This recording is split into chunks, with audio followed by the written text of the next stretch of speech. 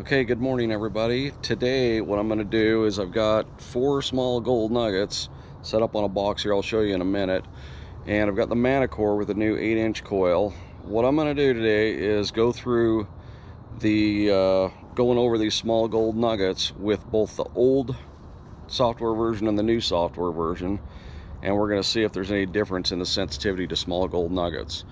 So Minelab has said that they've made it more sensitive to small gold. We're going to take a look at that and see if that's the case. So let me show you the nuggets real quick.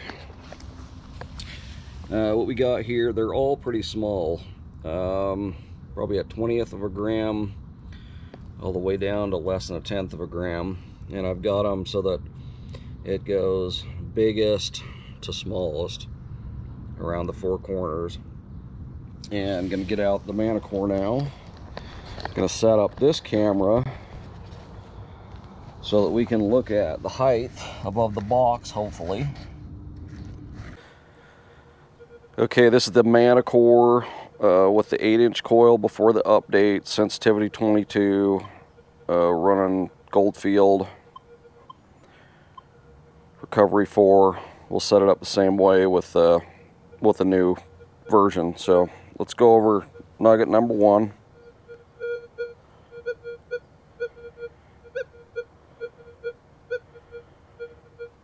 There's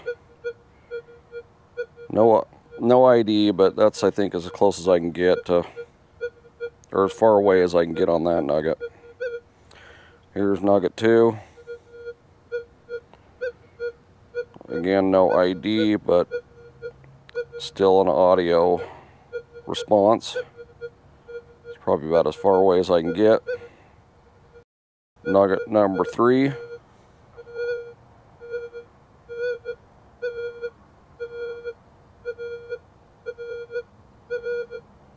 No ID, but a good audio response.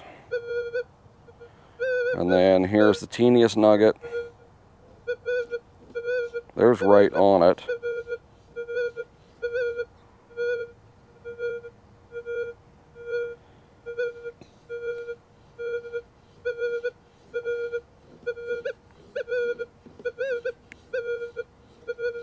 One without being right on it. Okay, so got the Manticore setup with the 8 inch 5x8 coil, sensitivity at 22. We're running the Goldfield program. Uh, we're just using stock everything except for I think uh, reactivity. I believe it was 6. I'm going to run it at, well, recovery speed, I'm going to run it 4. So let's go over nugget number 1. This is going to be the biggest. I'd say right there is audible. Then we got Nugget 2.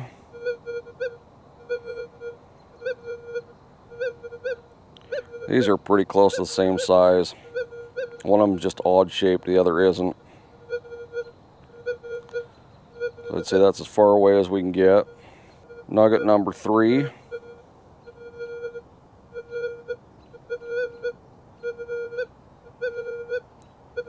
Probably as close as we can get. Not even registering an ID, as you can see. And the smallest, which is under a tenth of a gram, that's right on it.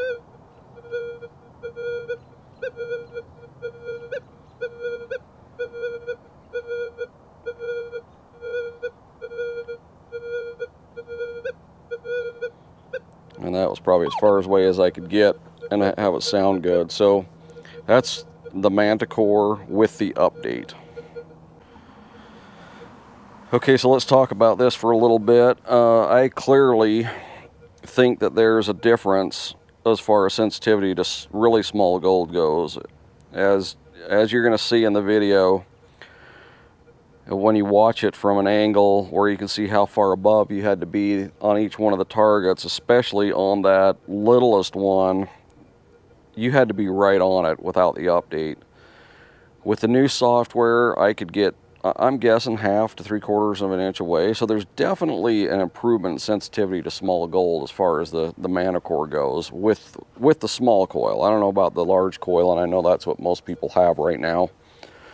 Um, but there's definitely an improvement on that. I think it's great. They've made some, you know, changes to the audio themes, which was shown in another video that are available in prospecting mode. There might be a bug, which I've contacted Minelab about, about not being able to turn the ferrous tones on or off under the prospecting audio theme. We'll wait to hear back on that, but vast improvement, in my opinion, on small gold detectability with the Manticore. So we'll do a follow-up test in some mineralized ground here in a few days. Have another video out where we go over some different size nuggets in mineralized ground, see how the Manticore ha handles that but overall pretty impressed with both the coil and the update as far as gold hunting goes. All right, thanks for watching.